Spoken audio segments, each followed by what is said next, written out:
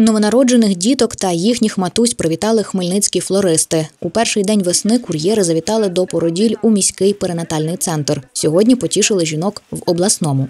Сьогодні, як ніколи, е, все наше суспільство єднається, і мені здається, що нашим збройним силам допомагають абсолютно всі, хто як може. Дякуємо нашим підприємцям, які також вирішили підняти настрій цим жінкам, які народжують дітей в такий непростий, буремний час, коли не знають, яке буде майбутнє, хоча всі переконані, що і всі знають, що перемога однозначно буде. В обласний перинатальний центр привезли 21 букет. Наразі тут перебувають жінки, які нещодавно народили, а також ті, чиї малюки знаходяться на виходжуванні не один місяць.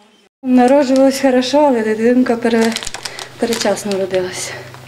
Ну, я вже тут два місяці. Подарунок мені хороший, тому що моя дитинка якраз сьогодні розінтубували, вона вже дихає. Пані Олена свого третього сина народила теж передчасно, але ще під мирним небом. Дякую за приємний подарунок. Да, дійсно приємно, несподівано і дай Бог таких більше людей на цій землі, що підтримують один одного. Наша країна переможе. Народжували, що було спокійно, а зараз тут дуже важко. Важко з шостої вечора без цього світла перебувати. Весь час е, чекаєш в стресі.